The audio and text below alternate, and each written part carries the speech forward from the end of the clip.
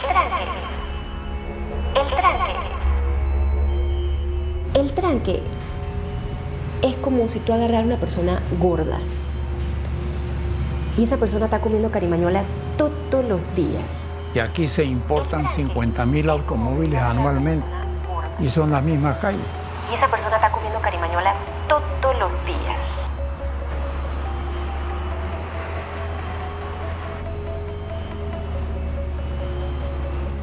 Y de ese total de automóviles no se distribuyen así en toda la República, la mayor parte viene para acá, a la ciudad de Panamá y su área metropolitana.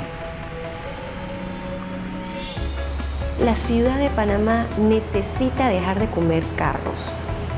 Necesitamos transporte público decente, eficiente y a buen precio. Todos los días.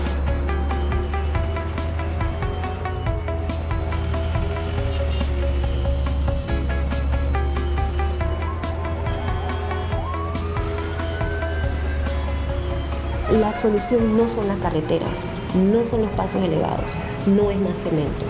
Aquí la solución es que aquí todo el mundo se tiene que poner a dieta, porque el único que gana con la carretera es quien la construye. El automóvil fue una bendición al principio, pero una maldición después. Claro, en una sociedad que pensó el problema del transporte se resolvía dándole un carro a cada uno.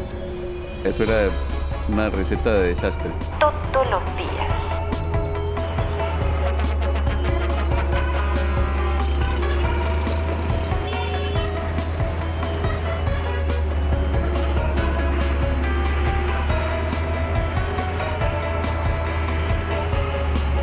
Pero tampoco podemos esperar que, que la ciudad crezca y eso se vuelva normal. Es decir, que, que ir de la casa al trabajo sea una jornada de dos horas. Todos los días. Un despilfarro de tiempo y de recursos. Es perder la vida.